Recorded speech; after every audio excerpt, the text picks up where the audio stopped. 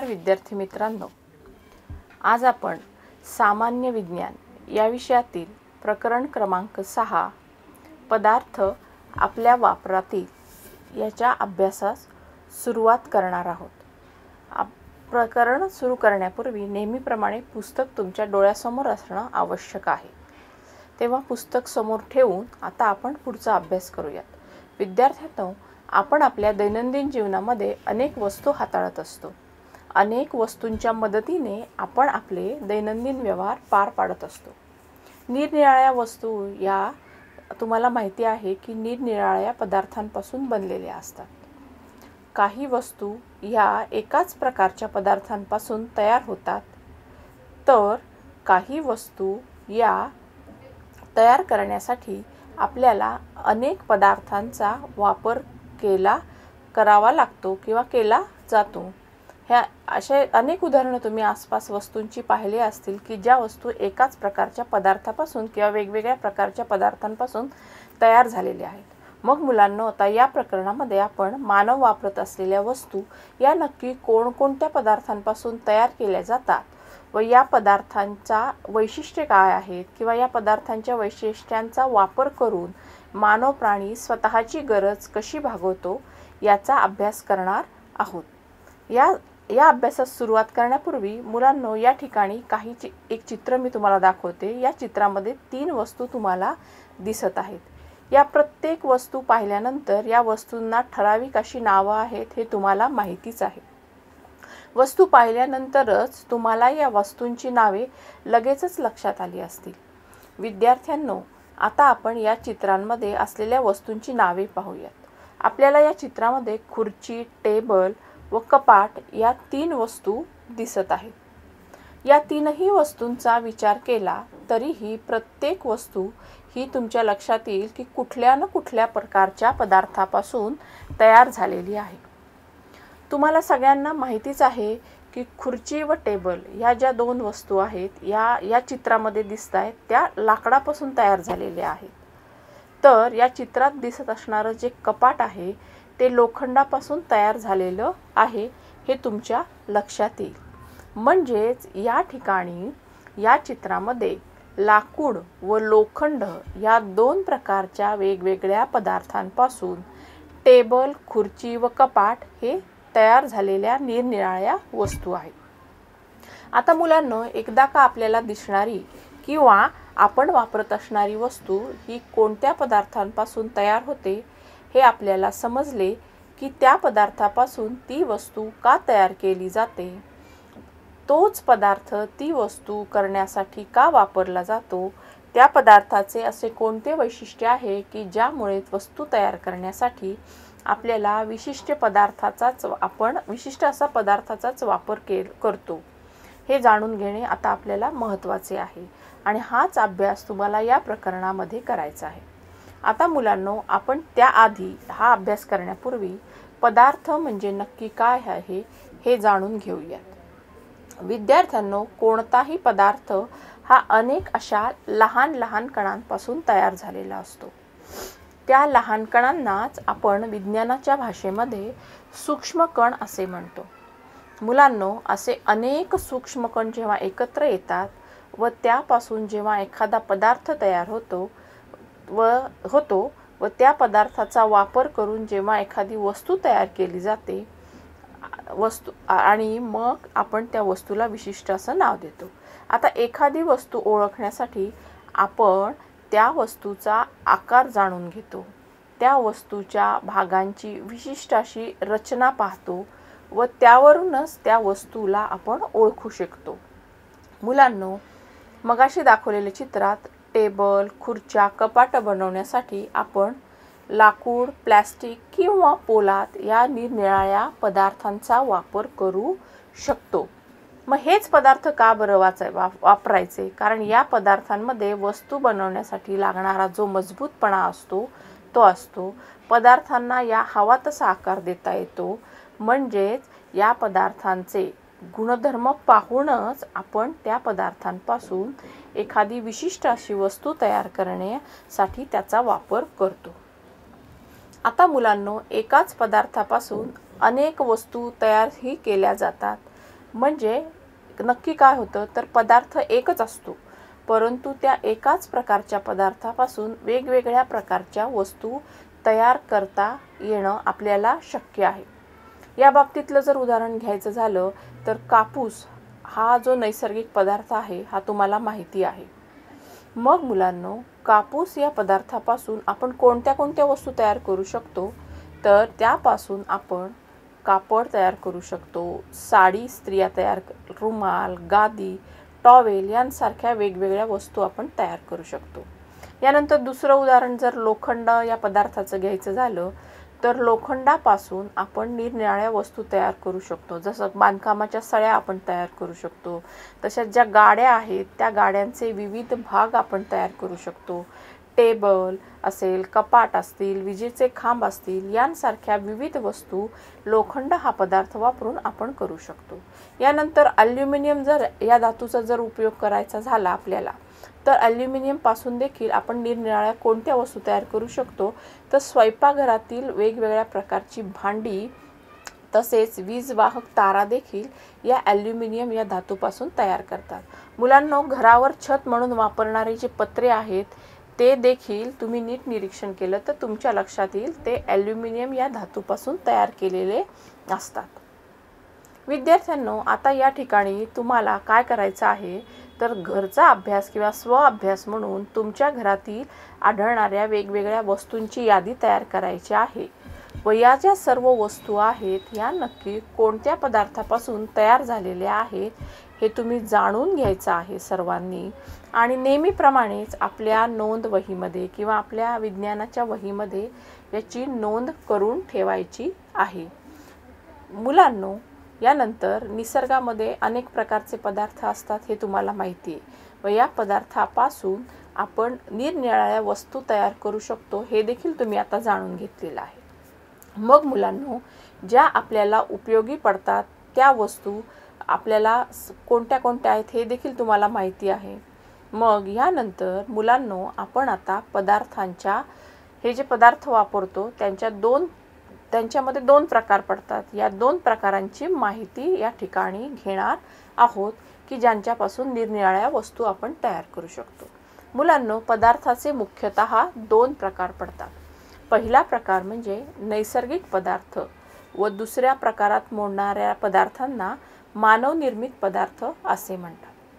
आता मुलांनो नैसर्गिक पदार्थ म्हणजे काय हे आपण जाणून घेऊयात. तर मुलांनो या पदार्थाच्या नावातच त्याचा अर्थ दडलेला आहे हे तुमच्या लक्षात येईल. निसर्गात उपलब्ध असणाऱ्या पदार्थांना आपण नैसर्गिक पदार्थ असे म्हणतो. तर दुसरा जो आहे कृत्रिम पदार्थ किंवा मानवनिर्मित पदार्थ तर निसर्गात उपलब्ध असलेल्या पदार्थांवर जेव्हा वेगवेगळ्या प्रकारच्या प्रक्रिया तयार केल्या जातात व त्यापासून जो पदार्थ तयार झालेला असतो त्या पदार्थाला मानवनिर्मित पदार्थ असे म्हटले जाते. मग मुलांनो आता या ठिकाणी मा नैसर्गिक पदार्थ कशाला म्हणायचं? व मानवनिर्मित पदार्थ नक्की कोणाला म्हणायचं? याचा अर्थ तुमच्या निश्चितपणे लक्षात आलेला असेल. तुम्हाला तो कळाला असेल. यानंतर मी तुम्हाला या ठिकाणी स्व अभ्यासासाठी काही उदाहरणं सांगते पदार्थांची. या तुम्ही काय करायचे की या उदाहरणांचे तुम्ही मानवनिर्मित पदार्थ व नैसर्गिक पदार्थ या दोन गटांमध्ये वर्गीकरण करायचं आहे. हे वर्गीकरण करण्यासाठी सांगितलेल्या व्याख्येचा आधार घ्यायचा आहे. वाळू साबण खिडक्यांच्या काचा बांबू कापूस विटा रेशीम पालेभाज्या सिमेंट फळे पाणी साखर बल्ब वायर खुर्ची टेबल या पदार्थांचा तुम्ही वर्गीकरण करा. यानंतर आता आपण थोडेसे अजून पुढे जाऊयात या प्रकरणामध्ये. आणि मगाशी ज्याप्रमाणे मी तुम्हाला सांगितलं त्याप्रमाणे जे पदार्थ निसर्गात उपलब्ध होतात त्या पदार्थांना आपण नैसर्गिक पदार्थ म्हणतो हे तुमच्या लक्षात आल्यानंतर नैसर्गिक पदार्थांमधील दोन उपप्रकार आपण या ठिकाणी पुढे समजावून घेणार आहोत. तर नैसर्गिक पदार्थांमधील पहिल्या उपप्रकाराला म्हणायचं जैविक पदार्थ. तर दुसऱ्या उपप्रकाराला किंवा दुसऱ्या गटाला म्हणायचं अजैविक पदार्थ. आता मुलांनो जे पदार्थ जैव सजीवांपासून तयार होतात किंवा सजीवांपासून मानवाला मिळतात अशा पदार्थांना आपण जैविक पदार्थ असे म्हणतो. मग जैविक पदार्थाची ही व्याख्या समजून घेतल्यानंतर आता आपण अजैविक पदार्थ म्हणजे काय हे पाहू. तर मुलांनो जे पदार्थ मानवाला सजीवांपासून मिळत नाहीत त्या कृत्रिमरित्या माणूस तो पदार्थ तयार करतो अशा पदार्थांना अजैविक पदार्थ असे म्हटले जाते. मग आता या दोन्ही व्याख्यांवरून आपण निसर्गनिर्मित प्रकारांची काही उदाहरणं पाहूयात. लाकूड झा असेल कापूस असेल झाडांची पानं असतील किंवा ताग असेल लोकर असेल पाणी असेल माती असेल चामडे असेल हे सर्व पदार्थ मुलांना निसर्गातच आपल्याला उपलब्ध होतात म्हणून त्यांना आपण नैसर्गिक पदार्थ म्हणतो. तर कप बशी खुर्ची टेबल पेन्सिल वही झाडू हे सर्व पदार्थ निसर्गात उपलब्ध होत नाहीत. म्हणून मानव कृत्रिमरित्या हा पदार्थ तयार करतो उपलब्ध असलेल्या पदार्थांपासून म्हणून यांना अजैविक अनैसर्गिक पदार्थ असे म्हणतात.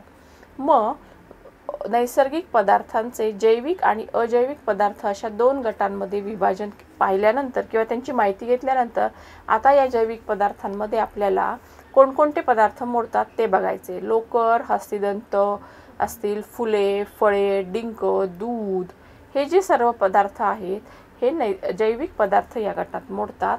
तर हवा माती पाणी दगड यांसारखे पदार्थ हे अजैविक नैसर्गिक पदार्थ या गटांमध्ये मोडतात. कारण हे पदार्थ पा प्रा कुठल्याही प्राण्यांपासून किंवा वनस्पतींपासून आपल्याला मिळत नाहीत. मुलांनो यानंतर जैविक पदार्थाचा अजून एक उपगट पडतो व तो म्हणजे प्राणीजन्य जैविक पदार्थ व दुसरा उपगट म्हणजे वनस्पतीजन्य जैविक पदार्थ. आता परत तुमच्या डोक्यात प्रश्न आला असेल की प्राणीजन्य जैविक पदार्थ म्हणजे काय? तर जे पदार्थ आपल्याला मुलांनो प्राण्यांपासून मिळतात त्या पदार्थांना आपण प्राणीजन्य जैविक पदार्थ असे म्हणतो.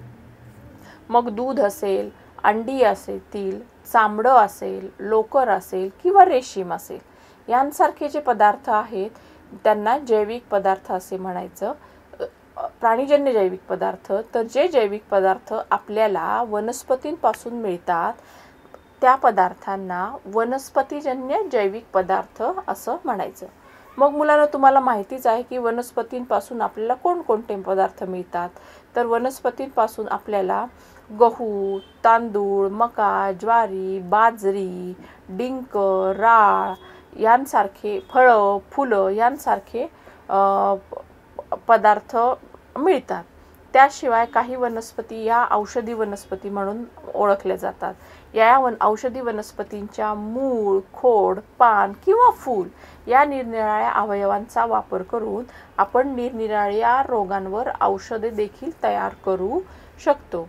अशा प्रकारे मुलांनो तुम्हाला आता हे सर्व प्रकारचे पदार्थ माहिती झाले आहेत. जैविक अजैविक वनस्पतीजन्य प्राणीजन्य मग ह्या प्र प्रकारा पदार्थांपैकी तुमच्या आजूबाजूला ज्या वस्तू असतात आढळतात त्या वस्तूंमधील नैसर्गिक पदार्थ कोणते? जैविक पदार्थ कोणते? तसेच प्राणीजन्य पदार्थ कोणते? व वनस्पतीजन्य पदार्थ कोणते? हे तुम्हाला शोधून काढायचे आहे. व या प्रकारच्या पदार्थांपासून कोणकोणत्या वस्तू तयार केल्या जातात हे देखील तुम्हाला तुमच्या वहीमध्ये लिहायचे आहे. हे सर्व पाहून झाल्यानंतर विद्यार्थ्यांनो आता आपण यानंतर मानव निर्मित पदार्थ कशाला म्हणतात हे समजून घेऊया मगाशी सांगितल्याप्रमाणेच मानवाने तयार केलेले पदार्थ. मुलांनो सतत नवीन नवीन गोष्टींचा शोध घेणे व स्वतःचे जीवन अशा गोष्टींचा वापर करून किंवा वस्तूंचा वापर करून जास्तीत जास्त सुखसोयींनी युक्त असे करणे हे माणसाचे पूर्वीपासूनचे ध्येय आहे. व त्यानुसारच मानव निसर्गात उपलब्ध असलेल्या विविध पदार्थांपासून स्वतःच्या उपयोगासाठी निरनिराळ्या वस्तू तयार करतो. मग अशा वस्तूंना मानवनिर्मित वस्तू असे म्हणतात. मग विद्यार्थ्यांनो अशा मानवनिर्मित पदार्थांची व वस्तूंची संख्या ही साहजिकच खूप मोठी आहे. मग आता या मानवनिर्मित पदार्थांमध्ये नेमक्या कोण कोणते कोणते पदार्थ वाप मोडतात हे आपण जाणून घेऊया. विद्यार्थ्यांनो निसर्गात उपलब्ध असलेल्या विविध प्रकारच्या पदार्थांवर प्रक्रिया करून तयार केलेल्या नवीन पदार्थाला मानवनिर्मित पदार्थ असे म्हणतात. आता उदाहरण घ्यायचं झालं मानवनिर्मित पदार्थाचं तर निसर्गातील लाकूड या हा पदार्थ तुम्हाला सर्वांना माहिती आहे या पदार्थाचा वापर करून माणूस पेन्सिल वही खुर्ची टेबल देवघर स्वयंपाकातील स्वयंपाकघरातील विविध भांडी यांसारख्या वस्तू तयार करू शकतो. याशिवाय निसर्गात उपलब्ध असलेला दुसरा पदार्थ म्हणजे कापूस. कापसापासून देखील माणूस उशी चादर गाद्या लोड तक्क्या दोऱ्या किंवा वेगवेगळ्या प्रकारचे कपडे यांसारख्या वस्तू तयार करू शकतो. यानंतर विद्यार्थ्यांनो तुम्ही आता माती या निसर्गात उपलब्ध असलेल्या पदार्थापासून मानव कोणकोणत्या वस्तू तयार करतो याची यादी तयार करा व आपल्या वहीमध्ये ह्या वस्तूंची म्हणजे मातीपासून तयार होणाऱ्या वस्तूंच्या यादींची यादी तयार करा व त्या किंवा त्याची नावे लिहून काढा. विद्यार्थ्यांनो पाऊस हे नैसर्गिकरित्या तयार होणारे एक संसाधन आहे हे आपण शिकलो. पहिल्या प्रकरणामध्येच हे आपण पाहिलं या पावसापासून संरक्षण मिळवण्यासाठी पूर्वी गवत किंवा गोंडपाटपासून या वस्तूंपासून बनवलेली इरली ही वस्तू ब वापरली जात असे.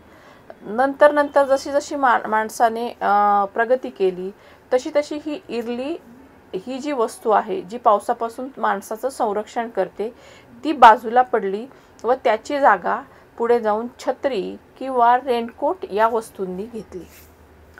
तसेच मुलांनो नाजूक वस्तू नाशवंत वस्तू किंवा फळं ही जास्त काळ टिकून राहण्यासाठी त्यांना व्यवस्थितरित्या पॅकिंग करणे आवश्यक आहे हे माणसाच्या लक्षात आल्यानंतर पॅकिंग करण्यासाठी माणसाने खोकी किंवा थर्माकोल या वस्तूं या पदार्थांचा वापर केला.